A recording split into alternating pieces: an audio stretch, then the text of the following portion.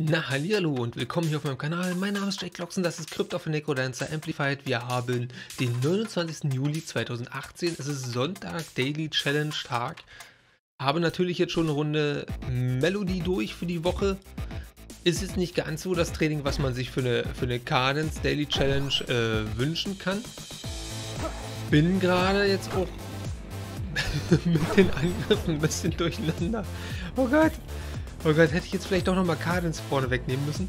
Hm. Weiß ich nicht. Werden wir sehen. Also ich will jetzt hier gerade standardmäßig immer vor den Gegner fliehen. Ist natürlich äh, nicht so gut. hm, wir kriegen das hin. Wir kriegen das hin. Hier gibt es erstmal ein Herz. Ist das schön. Gut. Es ist echt die Umgewöhnung. Also ne, Melody, Melody, der muss die Gegner, der muss ja an die Gegner ran, um Schaden zu machen. Und dann musst du von den Gegnern weg, um weiter Schaden zu machen. Oh, Fledermauskammer, na toll. Ist natürlich äh, jetzt nicht so Cadence-Style. Sondern, sondern eher andersrum. Ne? Oh Gott, ja. Und das für die Daily Challenge, äh, sich wieder kurzfristig dran zu gewöhnen, ist echt scheiße. Aber wir kriegen das hin. Irgendwie.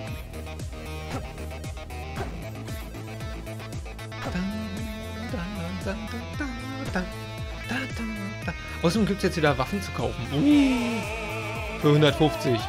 Können wir uns sogar leisten. Was will der Zombie in dem Laden? Wie ist denn der hier reingekommen? Naja.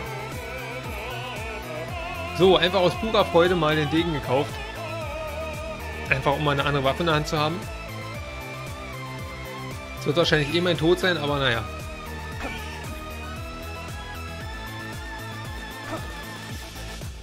So, wir erinnern uns, hoffentlich, doppelter Schaden durch den Degen bei Angriff auf Entfernung. Ist ja noch nicht so lange her, dass man sich das nicht merken könnte. Außerdem kommt hier ein Minotaurus durch die Wand. Bums ist er weg. Da schön eine von hinten verplättet bekommen. Was im Schwertkampf übrigens sehr verpönt ist, den Gegner, äh, den Gegner in den Rücken zu stechen. Ich meine, natürlich, äh, im Kampf, äh, du, gegen, du gegen ihn, Manu Amano, äh, um Leben und Tod ist natürlich scheißegal, wie du gewinnst. Wer gewonnen hat, hat dann verloren und wer zuerst stirbt, hat verloren. Wer gewonnen hat, hat gewonnen. Ja, also wisst schon, ne? Ähm, aber so im fairen Sportsmanship äh, ist es verpönt, einem Gegner in den, Rücken, in den Rücken zu stechen oder zu schlagen. In manchen Regionen beim Freifechten sogar einfach mal verboten. Ähm, ich habe keine Ahnung, wie ich jetzt auf das Thema gekommen bin, aber ja, so ist es. Abwärts bitte.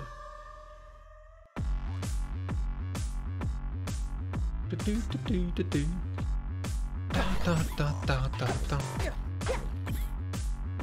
So, gibt es hier was mit Bombe? Nein. Schade. Na gut. Gucken wir doch einfach mal weiter.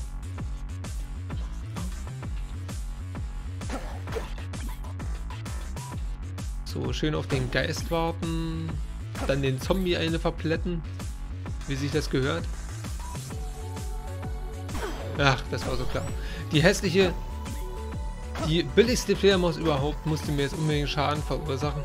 Was ist hier? Verliere langsam Leben, halte Item, ne? Genau, das ist ja total scheiße. Dann lassen wir das doch einfach mal. Hier ist eine Kiste, schön. Ich stehe auf Kisten. Mit Verteidigung drin ist jetzt nicht ganz so toll, aber na gut, gebrauchen kann man es trotzdem ab und zu. So, jetzt haben wir hier einen Shop, wo es nur mit einer Bombe reingeht. Das ist immer sehr gemein von dem Shop. Ja, rennt doch bitte alle, alle da unten rein, so kann ich mich, mich schön um den Drachen kümmern. Das Problem ist, ich habe jetzt hier dezent Panik, den äh, mir von oben oder unten vorzunehmen, mit der Befürchtung, mit dem Degen ihm äh, irgendwie in den Angriff zu rauschen. Und das war jetzt sehr schwer, gleichzeitig den Drachentanz zu veranstalten und zu labern und den Satz aufrechtzuerhalten. Aber es ging. Wir lernen dazu.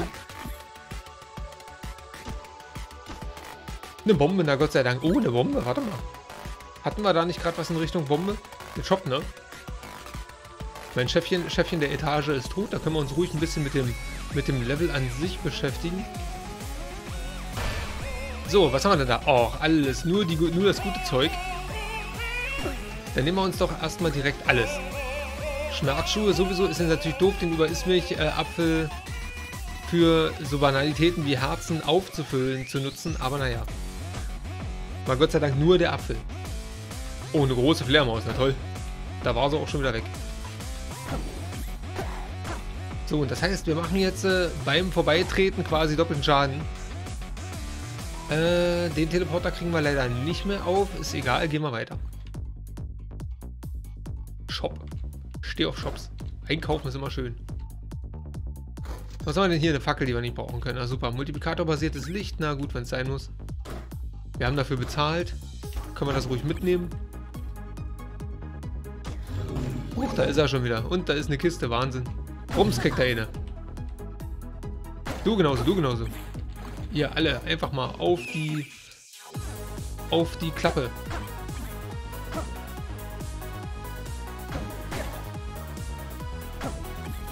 Super, äh, super, äh, super saubere Sache. So. Kommst hoch, danke. Äh, Äffchen, komm mal rüber, danke. Geist 1, Geist 2. Ausgezeichnet, wie das manchmal klappt. Unglaublich. Ach Gott. Guckt, guckt sich das einer an. Wie am Fließband. Die Skelette aus den Latschen gehauen.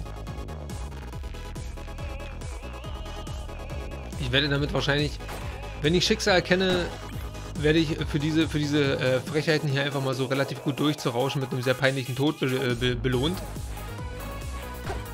Wäre ja nur auch nicht das erste Mal. Die Fledermaus da oben geht mir völlig auf die Nüsse. Wie sie einfach nur hin und her flattert. So beleidigend.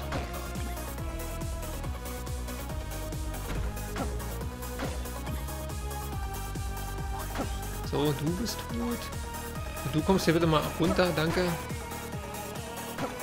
Schön, dass du die Pfütze leer getreten hast, beziehungsweise trocken getreten hast. Ein Fass, äh, Kiste. Mann, kann man noch gar nicht verwechseln. Halt, nein, nicht in die Pfütze, denn da bleibt die Kiste liegen. Kommt nicht mehr raus. Das ist ja auch doof. Oder wir tun sie einfach mit den Schuhen kaputt treten. Ein Apfel drin, den essen wir natürlich sofort. Eine Blutwaffe oder die Dornkrone oder sowas wäre jetzt schön. Kann ich nie genug von haben. Was gab es denn hier für die 300 noch? Warte mal. Eine Schaufel, ne? Ach so, stimmt. Ja, die rosane, was war es, Grabsprung oder sowas? Brauche ich jetzt nicht. King Konga. King Konga. Wir beachten den, die Lücke im Beat.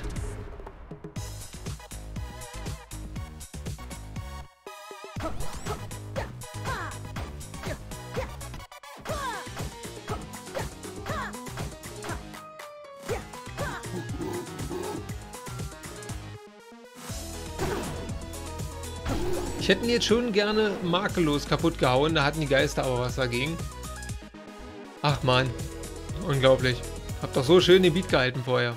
Hab den King Konga nicht sauer gemacht. Aber nö. Dämlichen Geister haben was dagegen gehabt. Auswahl. Gut, eine Bombe, die nehmen wir natürlich sofort mit hier. Nein, da geht's nicht durch, hier geht's durch.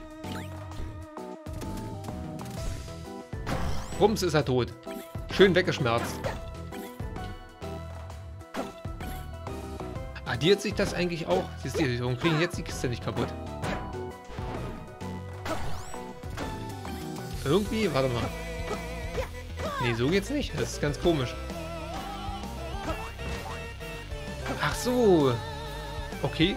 Also irgendwie, irgendwie klappt es mit den Schmerzschuhen auf doppelte Distanz. Liegt das jetzt an der Waffe? Oh, großer Gandalf. Liegt das, jetzt an der, liegt das jetzt an der Waffe, dass das nur auf die Entfernung klappt? Ich weiß es gar nicht. Hm, drauf geschissen. Hauptsache es geht. Pyramidenfackel. Na, endlich was Vernünftiges. Und plus Graben nehmen wir natürlich auch gerne mit. Okay. Weiter geht's. Es läuft. Wir sind bei 10 Minuten Daily One. Das buche ich als, als Erfolg ab.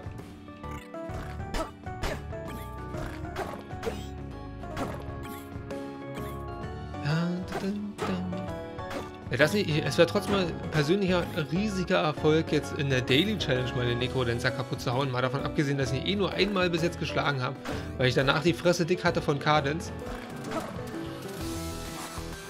Und Melody testen wollte. So, äh, eine Rüstung ausgezeichnet. Die Hecke kann mich mal...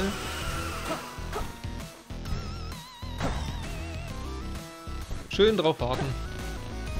Ungefähr jetzt. So, ausgezeichnet. Rums, rums, rums. So, Eile mit Weile. Ganz einfach. Die Schmerzschuhe machen natürlich, äh, geben natürlich einen Anteil dazu. Oder Dornschuhe. Sind es Schmerzschuhe? Weiß ich gar nicht. Also Schmerzen machen sie auf jeden Fall. Aber ob sie so heißen, weiß ich jetzt nicht. Haben wir hier noch irgendwas äh, vergessen? Ich glaube nicht. Ich meine, das Lied ist auch alle. Nö, nichts vergessen. Alles klar. Dann noch ein bisschen dämliches Hin- und Hergespringe, bis der Song alle ist oder wir die Treppe finden. Babam, babam, bam, bam. Hm.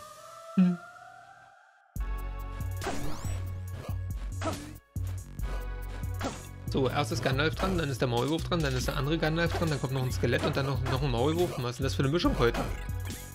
Armadillo, alles klar. Armadillo 2. Unten kommt was, kommt was hochgewütet.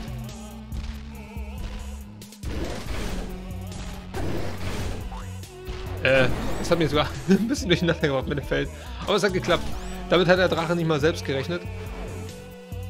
Dass ich hier irgendwie ein Beat auslasse. So, jetzt nochmal ein Test hier. Auf die Entfernung. Tatsache, Dornkrone. Uh, das hat sich gelohnt. Ein halbes Herz. Ausgezeichnet. Oh, guck mal. Und noch ein Herz. Und was haben wir denn hier drin? Das wäre jetzt eine Blutwaffe, wäre jetzt geil gewesen. Ich müsste sowieso mal bald von dem Speer runter. Äh, Speer, ähm, Degen. Aber ab jetzt lohnt sich das Töten wenigstens.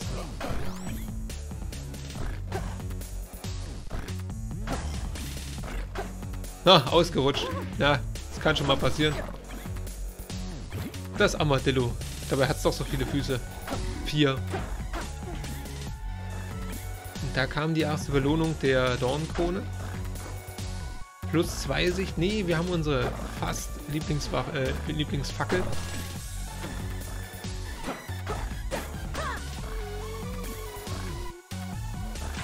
Renn in die fucking Bombe, du dämlicher Zauber. Aber Avada Kedavra, Bitch.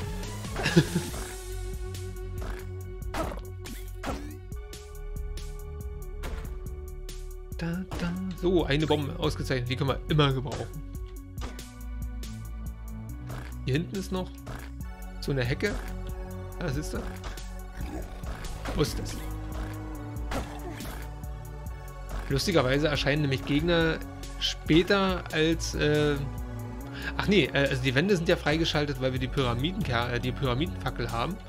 Und da die Wand ja keine, keine Wand, äh, da, die, da die Monsterwand ja keine normale Wand ist, wird die erstmal nicht angezeigt, bis man sich auf Sichtweite nähert. Das nicht furchtbar interessant? Ich denke nein. Bam, bam, bam. Bam, bam, bam, bam. Ninja-Sterne. Bam, bam, bam, bam. Bam, bam. Da ist schon wieder ausgerutscht, das dämliche Armadillo. Mann.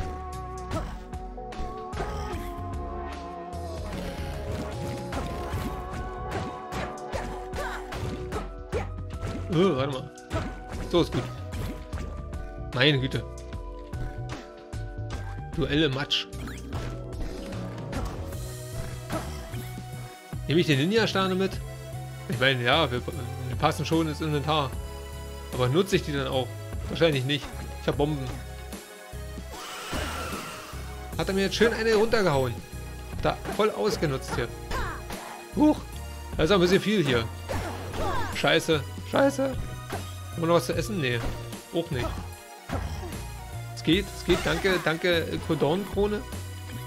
Kam jetzt gerade sehr gelegen, das halbe Herz.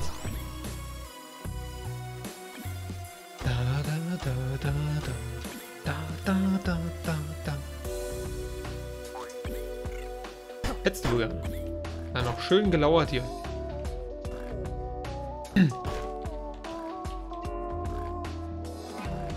Komm doch mal her jetzt hier endlich. Mann, jetzt habe ich dich. So, wir müssen doch noch in den Shop rein.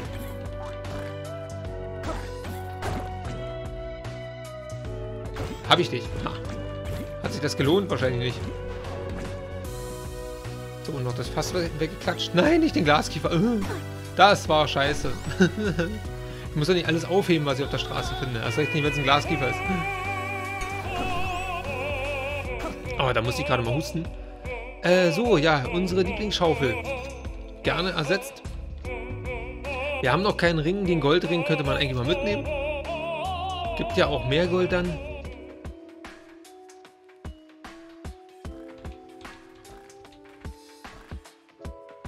Mitten in der Aufnahme direkt einen Frosch im Hals zu kriegen, ist richtig scheiße.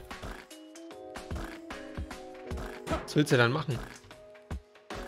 Na klar, ich kann über meine, über meine Räuspertaste das Ganze stumm stellen, aber dann hast du hier erstmal mehrere Sekunden Ruhe, wo eventuell was passieren könnte. Was ich doch total kommentieren muss. Wo ist denn jetzt die verdammte Treppe? Ich habe bestimmt schon wieder dran vorbeigelaufen.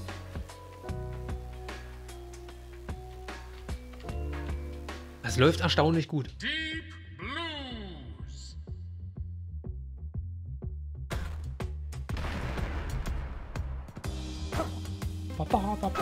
Da ist er weg gewesen.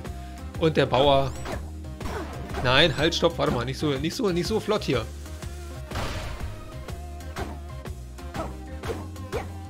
Oh Gott, jetzt kommen hier gleich drei Königen. Das kann... Nein, oh, warte mal. Eine reicht auch schon. Und da ist er futsch. Zwar mehr Verwirrung, als ich äh, geplant hatte. So.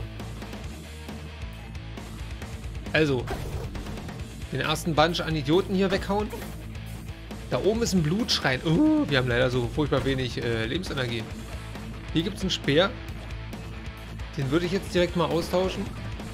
Nee, obwohl, hm, wenn wir jetzt eh gleich eine Blutwaffe bekommen, ähm, ich nehme an, der Schrein zieht bis auf ein halbes Herz ab. Das heißt, eigentlich ist es egal, mit wie viel Leben wir hingehen.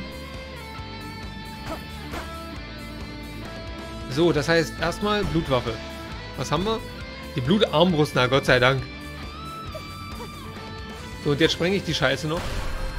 Und da ist die, da ist die Dornkrone drin. Hm, das ist, glaube ich, das erste Mal, dass ich was doppelt sehe. Ah, okay. Resümee, ähm, wir hatten ja die Armbrust, das heißt, der Angriffsradius war sehr weit. Unten stand der hässliche Yeti rum und wir standen auf der Lava und mussten unbedingt schießen. So eine Scheiße. Ach ja, so endet's für heute. Na gut. Halt, stopp, Highscore. Das war gar nicht so unübel. Äh, Platz 73 für 9 Uhr, 4, 9 Uhr 48 am Sonntag.